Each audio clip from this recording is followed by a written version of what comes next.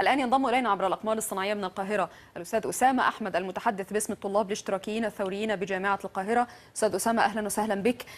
أول نقطة هي النقطة التي ذهب إليها البعض في هذه الحلقة وهي أنه ليس هناك من خلاف أن الهدف واحد لطلاب مصر في هذه المرحلة. هل هناك قدر من الانقسام أو الاختلاف في الأسلوب بين من يقال عليهم أنهم طلاب تيار الإسلام السياسي وبين آه، يعني الطلاب من غير هذا التيار سيما الثوار الاشتراكيين آه، بكل تأكيد في اختلافات آه، ب- في الرؤية لل- اللي حصل في 30 يونيو و آه، فيما بعده يعني ما نعم. بين تيارات يعني طلاب تيار الإسلام السياسي وما بين طلاب التيارات ال- ال- ال- الأخرى يعني آه، طلاب ال- الإسلام السياسي بيعتبروا اللي حصل انقلاب عسكري على شرعية رئيس منتخب آه، دستوريا وبيتحركوا بهدف إسقاط الانقلاب وإعادة آه، برئيس شرعي وإلى آخر آخر يعني الخطاب اللي بيقول الكلام هل ينعكس آه. ذلك على مظاهراتهم أستاذ أحمد أستاذ أسامة أعتذر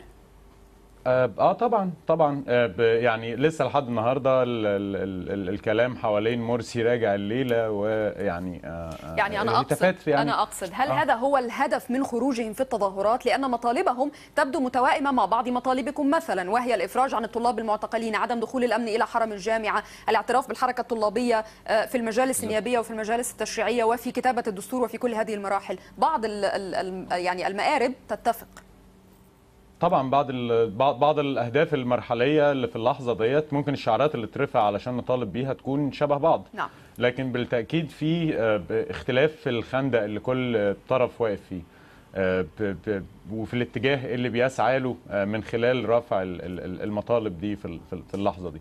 آه، خليني بس أقول إنه إحنا وجهة نظرنا إنه آه، محمد مرسي آه، سقط بحركة الجماهير الواسعة اللي نزلت الشارع في 30 يونيو و1 و2 يوليو آه، آه، لكن في نفس الوقت إن إحنا شايفين دوت ما بيعميناش عن إنه الفريق السيسي وحلفائه آه، لما خرجوا في 3 يوليو علشان يعلنوا خريطة طريق كانوا بخريطة الطريق ديت بينقلبوا على ثورة 25 يناير وعلى مطالب الجماهير اللي نزلت في 30 طيب. يونيو نفسهم أستاذ أسامة أنا آه، يعني اسمح لي مع احترامي لوجهة نظرك طبعا هي ذات بحاول- المساحة. آه، أنا. فاهمة بس انه لأنه مرة أخرى أكرر لأن ذلك ما قلت لضيفي في النصف الأول لا أريد أن أعود إلى ثنائية الثورة ام انقلاب ولكن إذا كان ذلك ينعكس على الحراك بقول الطلابي دوت- اتفضل اتفضل. آه أنا بس كنت بقول دوت علشان أقول إنه ال- المناطق اللي إحنا بادئين منها نعم. والمناطق اللي إحنا رايحين لها مختلفين. نعم. آه، ده بيوضح قد إيه الدنيا مختلفة. لكن النظام العسكري اللي بيحكمنا دلوقتي وبواجهته المدنية موجه بفوهات الأسلحة ناحية الجامعات بيقتل الطلبة جوه الحرم الجامعي.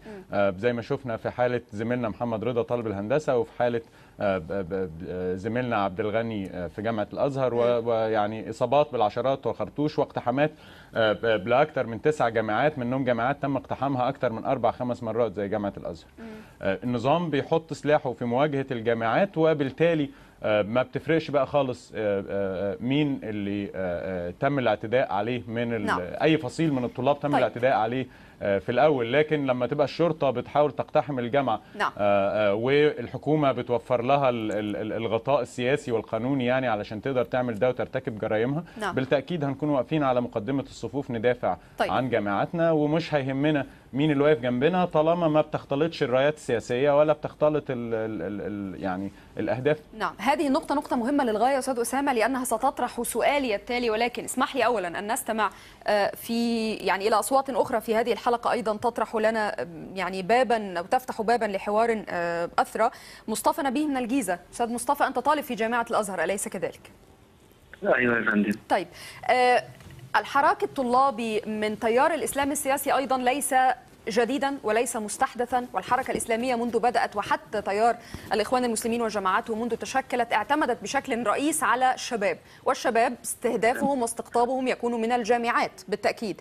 في هذه المرحلة هل هناك وجه للشبه بين ما جرى الآن وبين حقب مختلفة أخرى بالنظر إلى أن جامعة الأزهر تحديدا ينظر لها من جانب منتقديها الآن منتقدي طلابها على أنهم يبدأون هم حراكا لصالح الإخوان المسلمين؟ بالظبط تمام الكلام تمامك يا فندم بالظبط كده زي ما حضرتك قلتي إن الإحراج الطلابي البادئ هو بادئ من جامعة الازهر لو رجعنا للتاريخ قليلا هم الطلاب هم قد أي ثورة. أنا كنت ممكن يعني اقلق على اخينا اللي كان بيتكلم قبل كده إن هو كان بيقول إن إحنا ما بنطالبش المرسي لكن ده انقلاب. بيناقضوا نفسهم. الكبر اللي جواهم إن هو يتكلم إن ده انقلاب. اتقتل في جامعة الأزهر من بداية الحراك الطلابي دلوقتي حوالي أربع طلاب. الأربع طلاب اللي اتقتلوا دول كأن لهم يعني واحد مات من جامعة القاهرة غنت الدنيا ليه؟ وكأن والدكاترة استقالوا كل اللي حصل. أما اللي حصل في جامعة الأزهر ده يعني اتقتل عبد الغني واتقتل اثنين جوه الحرم الجامعي وكأن ليهم يعني ما فيش. امبارح دخلوا جامعة الأزهر بثلاثة ثلاث مرات أو ثلاث أيام عمالين يحاولوا عشان يقتحموا الجامعة ودخلوها. طب وفين الإعلام؟ وفين الدنيا؟ ال- هم وقود الثورة. وان شاء الله هيسقط كل حاجة ويسقط الانقلاب. بالطلاب لكن أما بيسأل حضرتك إن بتوع الإخوان اللي هم الطلاب إن الإخوان هم اللي بيقودوا الطلاب أو التيار الإسلامي هذا غير صحيح لا لا لا. أنه مستفيد من الحراك الطلابي سيما في جامعة الأزهر أو أنه أزهر. يوظفهم البعض يذهب إلى إلى لا. هذا يعني إلى هذا الحد أنا ممكن أرجع لحضرتك. اتفضل قليل كده من بالتاريخ قليل خالص كان بيقولوا إن الأزهر هو اللي بيقود كل حاجة وإن الازهر وإن الأزهر تعالوا دلوقتي انزلوا جامعه الأزهر. انزلوا أنتوا بكاميراتكم وشوفوا. إن كان في طلابين متفقين على اللي بيحصل على اللي بيحصل يبقى ده يعني في كل الطلاب واقفة صف واحد بايد واحدة إن ده لازم يحصل. أي واحد يستبيح دمه اللي يقتل ممكن يكذب اللي يقتل ممكن يعمل أي حاجة. أي واحد يستبيح دمه. مم. إحنا في جامعة الأزهر على مشارف من رابعة نشيل براحه رابعة من هناك.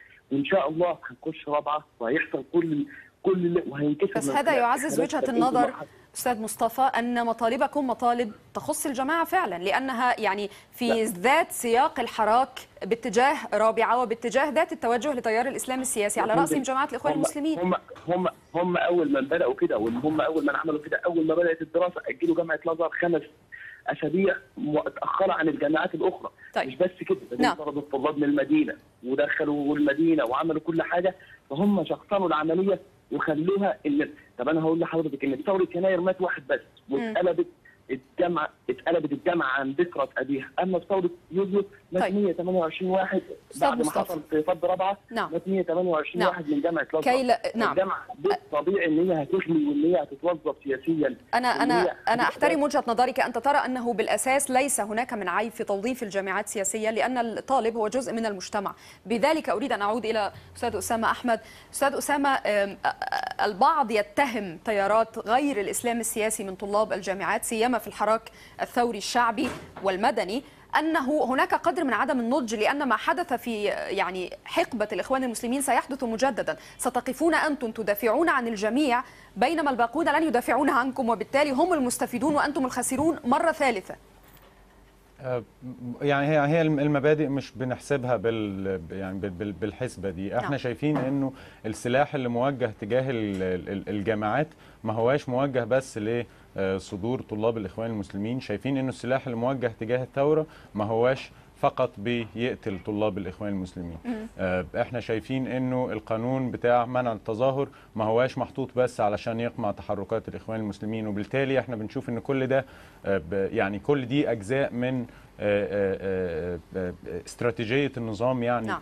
آه، آه، للقضاء على ال- ال- الثورة في العموم. آه، تحت دعاوى الحرب على طب الإرهاب بس هذه النقطة نحن نحن والقضاء على يعني نحن قطعناها في البحث، أنا أتحدث أنت استمعت إلى وجهة نظر طرف من جامعة الأزهر من الطلاب. الناشطين واضح؟ هو يرى أن هذا يعني هذه خطوة أولى في الطريق إلى رابعة وهذه خطوة أولى في الطريق إلى دحر ما وصفه بالانقلاب. وبالتالي هو يرى أن ما يجري هو كله حراك مجتمعي. يعني أنتم تساهمون في الحركة نحو هذا الهدف. طيب يعني هو ده ده كلام مش حقيقي بس هو يقدر يقول اللي هو آه، آه، بيعبر عنه وهو نعم. من حقه يقول اللي هو بيعبر عنه ومش من حق حد يضربه بالنار لما آه، بي- يعمل ده نعم.